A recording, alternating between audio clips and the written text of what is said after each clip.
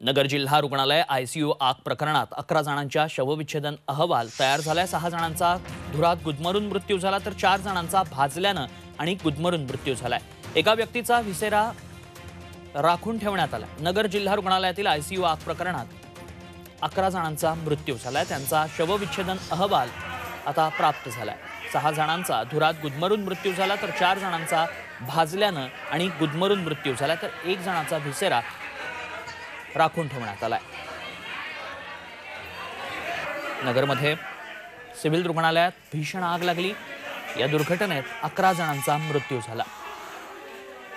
अकरा जणांच्या शवविच्छेदन अहवालात सहा जणांचा मृत्यू हा गुदमरून झालाय. हे समोर आलंय.